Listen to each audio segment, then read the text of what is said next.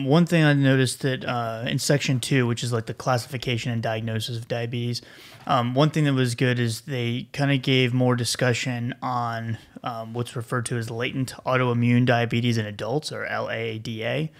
Um, this is something that I personally didn't like put much thought into like before, um, but now working at my current job at, at Feder, um, we've I have seen probably 10 to 20 patients who for years have been listed as a type 2 um, because they developed diabetes much later in life and so it's just kind of and they're overweight they fit the like you know phenotypic description of like a type 2 diabetic so to speak um, but for whatever reason they're not their, their blood sugar is not getting controlled. They meet with the dietitian. They're you know they'll be on all the right meds, and their their A1C is still high.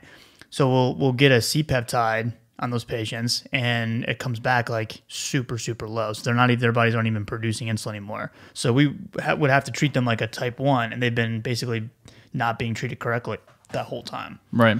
So that's something that I, I don't know how often you know people are running into this, like in your clinics and whatnot, but that is something that 100% you should at least be on the lookout for. Yeah.